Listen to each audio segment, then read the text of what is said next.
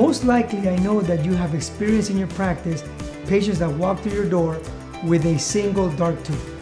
Now, when I'm talking about single dark tooth, you may also have some patients that have more than one uh, tooth that is darker, maybe two or three teeth adjacent to each other and in the aesthetic zone.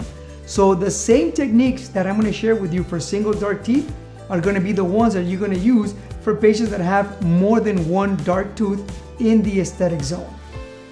Now, for these patients, they're gonna, you're gonna follow the same instructions that I shared with you during our vital bleaching video. That you can, uh, you most likely are gonna find the link for that video on the upper right hand corner of this video. The only modifications that you're gonna do are the ones that I'm gonna share with you today. And these modifications are critical in order for you to be successful, you know, solving a single dark tooth case. The most important modification when it comes to vital bleaching compared to single dark tooth bleaching is gonna be in the fabrication of your tray. The actual tray is gonna be the same because we're gonna use 10% carbamide peroxide. We're gonna use the same techniques as we outlined in our vital bleaching video. If you haven't watched that video, please make sure to click up in the right, upper right hand corner of this video and it will take you immediately to that one. I would highly recommend that you watch that video first before coming back to single dark tooth. But again, as I was saying before, the tray is gonna be where the secret is. Now for this tray modification, the ultimate goal is that you create two windows that are right next to the single dark tooth or maybe dark teeth in your page, uh, in the case that you're trying to, to help out, that you're trying to solve. And the reason for that is because you want to concentrate only in bleaching initially the dark tooth. If you give the patient a regular tray what's going to happen is that number one, it's going to be hard for them to determine within the tray which one is the dark tooth that they only that they want to bleach initially. And if you give them a regular tray and they do identify the dark tooth in the tray, well, once they put the tray inside their mouth, again, the product, the bleaching agent is going to spread out in, within the tray and is going to be in contact with the neighboring teeth. So not only the dark tooth is going to get lighter, but also the neighboring teeth. Don't forget, Bleaching is a diffusion process. So what you are trying to accomplish is that you want to only bleach the dark tooth first. And in order for you to do that, you have to cut two windows on the neighboring teeth of the dark tooth. This will enable the patient to remove any uh, product that's that's going to be in contact with those neighboring teeth. Any product that will, you know, just literally um, come out of the tray, it will be easy for them to just remove it, wipe it out with their fingers, and allow the bleaching gel just to be in contact with a single dark tooth. Bleaching only that tooth and keeping every tooth at the shade that you initially want to match. Don't forget, your ultimate goal is to match the single dark tooth to the neighboring teeth before you go back and bleach every other tooth in the patient's mouth.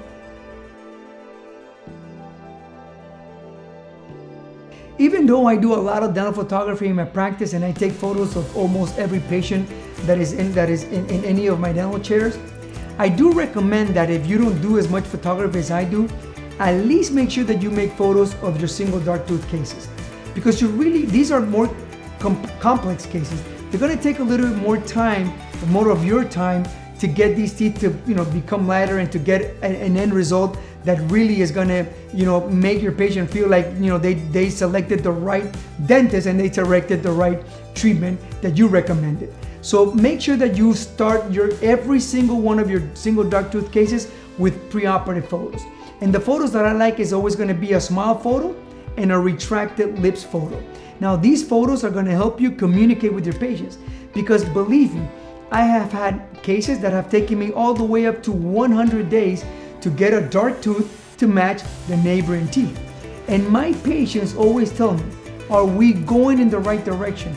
Am I really, uh, uh am I, is my dark tooth really getting lighter? And the only way that I can prove to them that they are getting lighter is showing them their photos, one right next to the other. So like, like if I have a case that is gonna take me 30, 60, or 100 days, maybe like in the middle of that time, I'm gonna share with them a couple of their pre-op photos to what they have today. And it's gonna be a lot easier for them to see, okay, the tooth is getting lighter. is it, this is a slow process, but it's getting lighter every every day. And again, I've had cases that have that have taken me 120 days to make everything every tooth, you know, eh, the, the dark tooth match the neighboring teeth. So keep in mind that you're gonna have to justify this time to your patients, and photos are gonna be an excellent tool to help you help you uh, make them see the changes and justify the time that you are investing in this treatment.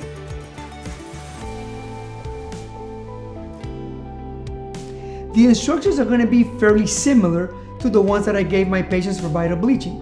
The only difference is that they're going to bleach one tooth, the dark tooth first. If they have a couple of dark teeth, well, those two teeth are the ones that are going to be involved in your initial bleaching. And again, don't forget, we modified the tray with two windows.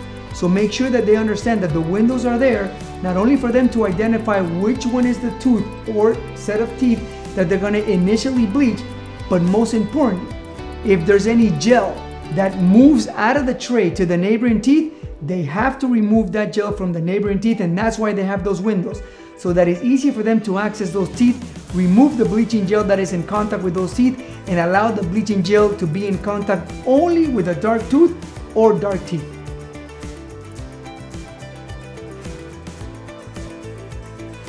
In this portion of the video, I'm going to share with you two clinical cases. Now, these clinical cases are going to be single dark tooth cases. And I'm going to share an easy case that maybe, you know, took maybe 30 to 45 days for me to complete and I'm gonna share a more complex case that took me 100 days to complete. I want you to see the results so that you can kind of visualize what to expect with your cases in your own practice.